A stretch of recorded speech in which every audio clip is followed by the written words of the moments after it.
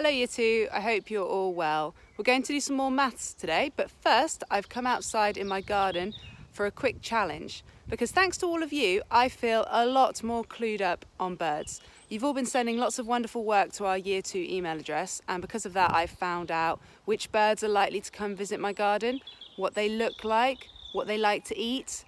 I found out that trying to give them strawberry milkshake was not my smartest move um, and in general, I feel a lot more confident about bird spotting. So I've decided to try and find at least two of all the most common species of birds in my garden this morning. Let's see how we get on.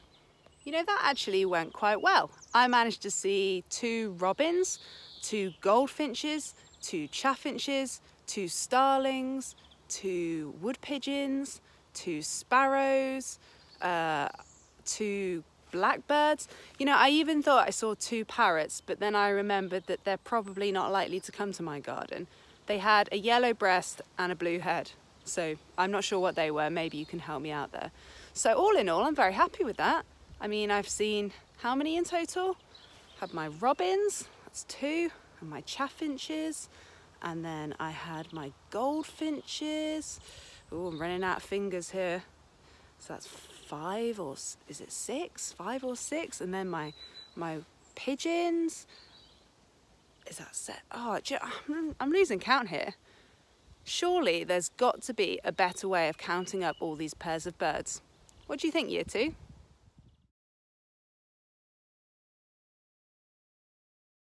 You've done brilliantly at addition and subtraction in the past few weeks, and now we're going to move on to multiplication. So this lesson can be split into two parts really, which means that we have two learning objectives. For the first part, we need to recognise and make equal groups because when we're multiplying, we're always looking at equal groups. Once we're happy with that and we feel confident, we're going to move on to our second part, our second learning objective, which is to write number sentences using the multiplication sign, which looks like an X, and equals. Now, before we get started, in today's lesson, we are going to need to count in our twos, fives, and tens. So you might like to pause the video now and have a quick practice of those. Remember, you can type in Scratch Garden counting in twos, fives, or tens onto YouTube to find some really cool songs to help you with that. Okay, so for recognizing equal groups, I'm going to need to use some bits and bobs that I've got around the house. So I'm going to go and have a little look at what I can find. So I've decided to use some pebbles that I found lying around the house. Now the first thing I need to do is count the number of equal groups. So let's go. One, two, three, four. So here, where it says there are mm, equal groups, I'm going to write the number 4. Now I need to count how many there are in each group. One, two. Let's just check the others. One, two, one, two, one, two. So there's two in each group.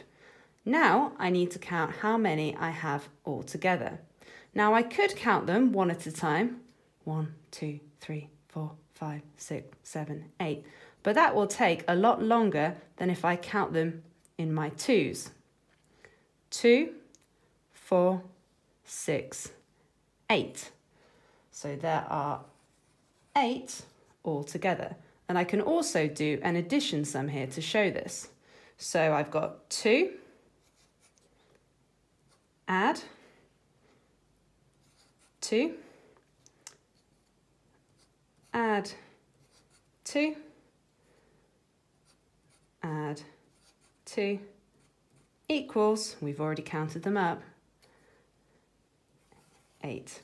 So 4 lots of 2 equals 8. Let's have a go at this one now.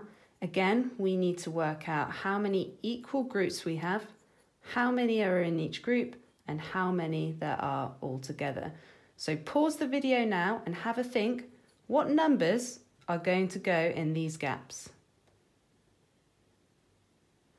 How did you get on? Good? Okay, let's check together. So first, let's count the number of equal groups. One, two, three. And now let's count how many are in each group. One, two, three, four, five. Let's just check that the others, are the same. One, two, three, four, five. And the last one, one, two, three, four, five. So there are five in each group. Again, now we need to work out how many we have all together. Now I know that we are really good in year two at counting in our fives. So we're going to try that now. Five, 10, 15. So there are 15 altogether. Again, we can write an addition sum here. So I have 5, add 5, add 5.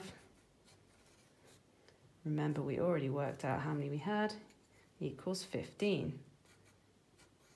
So three lots of 5 is 15. So now it's your turn at home. I'd like you to go find something around your house. It could be toys or pens or rolled up socks, absolutely anything as long as you ask your grown up first, of course. And you're going to make equal groups. And in each group, I'd like either two, five, or 10 items. You can choose how many groups you want to make, that's completely up to you. And then I'd like you to try writing down this information. So you need to say how many equal groups there are, how many items are in each group, and then you need to count in your twos, fives, or tens how many you have altogether. You can also try writing the addition sum below as well. So pause the video now and have a go at that. So now we have one, two, three, four, five groups, but they don't look equal to me because only two of them have anything in them. Three of them are blank. So I'd like you to pause the video now and try and make the groups equal. So what are you going to have to put in those groups to make sure they're equal to those? After that, write down how many groups you have, how many are in each group, and work out how many you have altogether. Excellent work, you're quite right. All we needed to do was to put five dots in each of the blank groups, which means we now have five equal groups with five in each group. And then all together we have 5, 10, 15, 20, 25. So 5, add 5, add 5, add 5, add 5 equals 25. 5 lots of 5 is 25. Now we're going to move on to the second part of our lesson where we're going to need to use our multiplication sign, which remember looks like an X, and our equal sign to write number sentences. So let's have a look at this one. As always, the first thing we need to do is work out the number of equal groups we have, which is one, two, three, four, five, six, seven. And then how many we have in each group, which is two. So we are looking at seven lots of two. Now, again, I can write my addition number sentence. Two, add two, add two, add two, add two, add two, add two. So I need to counter my twos to see how many I have. Two, four, six, eight, 10, 12, 14.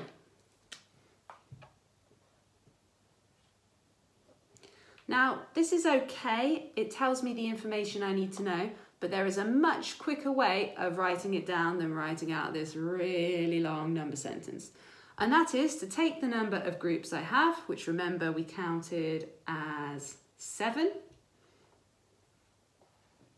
Then we need our multiplication sign, so multiplied by, and then the number that you have in each group, which is two.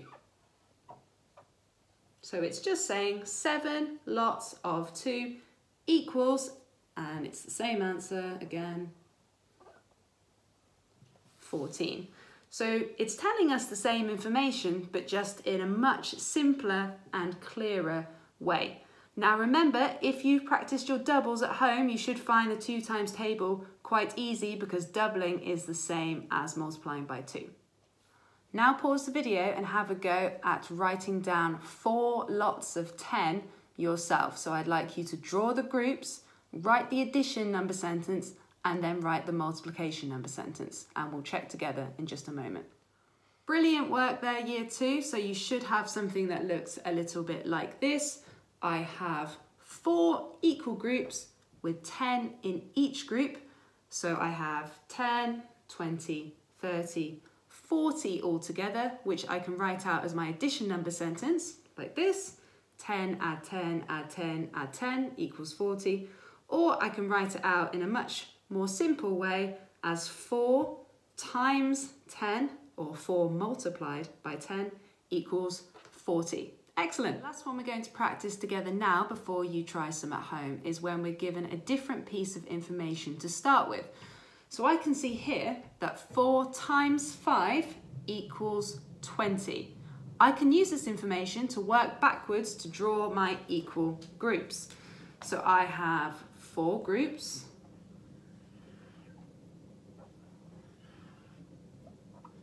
Three, four, and I have five in each group. One, two, three, four, five. One, two, three, four, five. Two, five.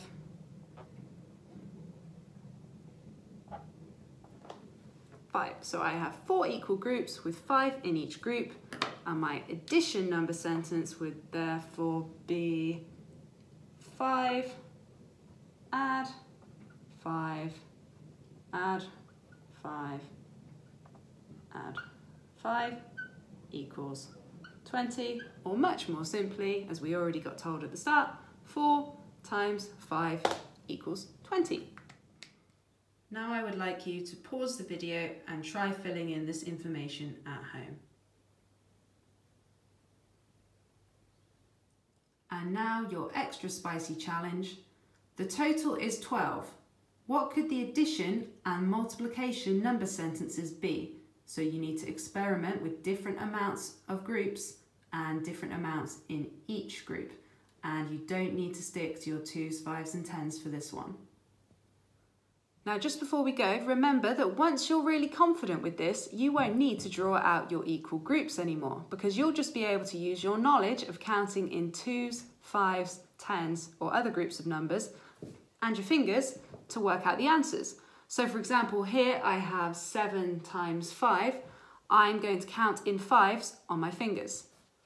5, 10, 15, 20, 25, 30, 35. So I've used seven fingers, I've counted seven fives, and I know that the answer is 35. For the second one, I have 3 times 10, so I need to count in my tens three times.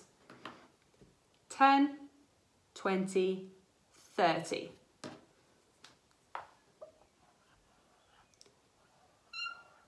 So remember, you can use Hit the Button and TT Rockstars to help you practice those.